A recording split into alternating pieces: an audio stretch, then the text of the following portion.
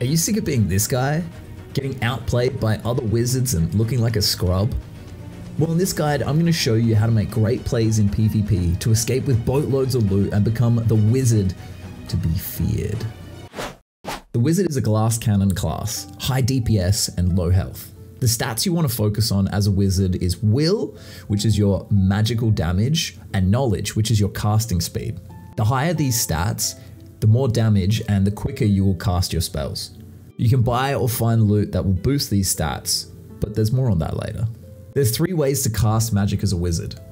The Staff, Spellbook, and Crystal Ball.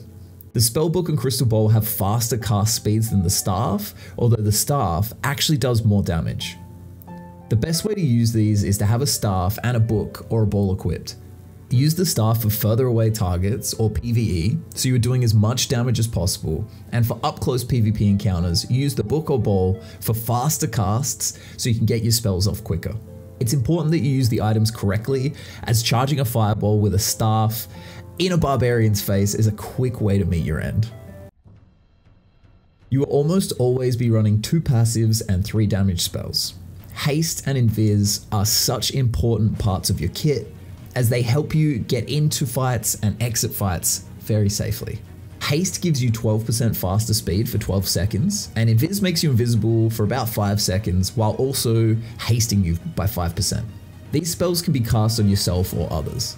When using these two combined, you always want to haste first as it lasts for 12 seconds and then cast your invisibility because that only lasts for 5 seconds. And you'll get a 17% haste buff on top of that. People can still hear you running around when you're invis, so beware of that. You can confuse them by jumping, so your footsteps aren't heard, or you can take off your shoes for less audible cues for your attacker. Another great thing about Invis is if you're being chased down by somebody while PvE is chasing you, you just go Invis to push the aggro onto the assailant. These two spells segue perfectly into Magic Missile, as one of your best entry strats into a fight is to haste, invis, then run past your opponent, turn around and Magic Missile them in the back. Magic Missile is a great spell for PvP and PvE. It shoots 10 missiles that all do around 10 damage each. You use Magic Missile for most PvE encounters and aim at the head for maximum damage. Zap is a fast spell that taps for 20 magic damage and has no headshot multiplier when it connects with a target. It is also one of the fastest spells to recover when meditating to restore your used spells. Now the Fireball is the big boy spell, doing lots of damage plus 15 splash damage, so when using it, if you aren't guaranteed a headshot, aim for the feet instead for that extra splash damage. You could think of these three spells like this to make it easy to remember what is good for what. Fireball is kind of like a rocket launcher. Magic Missile is like a machine gun. And Zap is kind of like a pistol. Use the rocket launcher to do massive splash damage, the machine gun to get lots and lots of damage off quickly, and the pistol just to tap at them. Chain Lightning is also another great spell that does massive damage when used right, although you do have the risk of hitting yourself or your teammates with the Chain Lightning too, so be careful about that. Lightning Strike is another great spell. It says it takes about 4 seconds to land, but it's more like 2, and it's great for hitting enemies behind barrels or peeking corners. It deals about 35 magic damage and slows the target's movement speed by 20% for 1 second. Ice Bolt is also a really cool spell as it does about 30 damage and slows the target down for 1 second. Ignite is such a cool spell. It can be cast on yourself or others and sets the target's weapon on fire for 15 seconds. When hitting with an ignited weapon, you'll deal 5 additional magic damage and burn the target for 1 second. You can run Ignite with a Rondel dagger and a crystal ball and attack people by hasting, then igniting your dagger, then going invisible, running up behind them, popping out of invis and stabbing them in the head for all that extra damage. I recommend the Zap, Fireball, Magic Missile, Haste, Invis setup while you are learning Wizard, but you do you. All the spells are very, very viable. Once you get the fundamentals of Wizard down packed, you should definitely start experimenting with which spells you like to combo up together. Depending on when you watch this video, some of these spells may be slightly better or slightly worse, as the devs are constantly changing things to try and balance out the game. So do be warned, make sure you check out the Dark and Darker wiki if you're a little bit confused on these stats. For your perks, you have Arcane Feedback, which is each time you do damage with an arcane spell, your spell casting speed and magic power bonus increases by 1% per stack and can stack up to 5 times at once. Arcane Mastery increases magic power bonus by 5% when using arcane spells and reduces cast time by 1 second. This one mainly applies to the magic missiles though. Fire Mastery increases magic power bonus by 5% when using fire spells, and changes burn to 5 damage over 5 seconds. Ice Shield grants 20 armor and inflicts frostbite on melee attackers for 0.5 seconds, which decreases movement speed and action speed by 15%. Mana Surge increases magic damage by 10%, pretty self-explanatory. Now Melt is when you're using fire damage, the target's physical damage reduction is reduced by 10% for 5 seconds. Quick Chant increases spellcasting speed by 10%. Reactive Shield activates an arcane shield that will last for 3 seconds when you take damage, and it will absorb about 10 damage.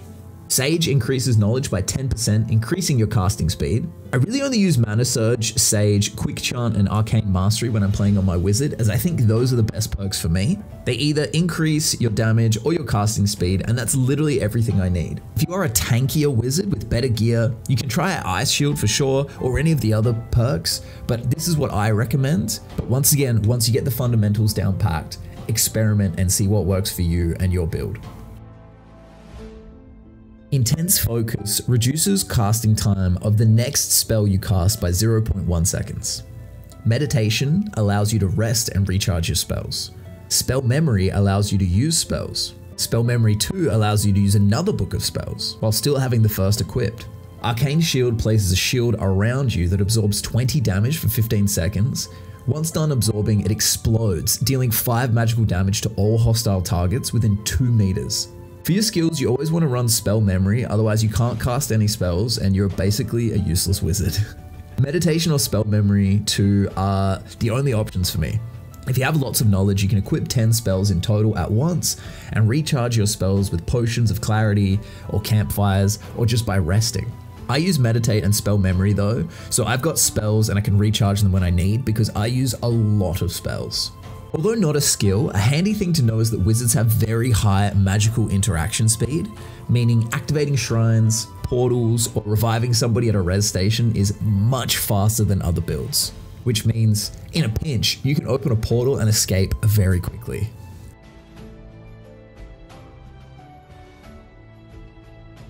The best gear is one with rolls that boost the stats that you care about, Having a purple spell book is cool, but if it only does plus 3 magical healing, it's not really great for a wizard build, is it?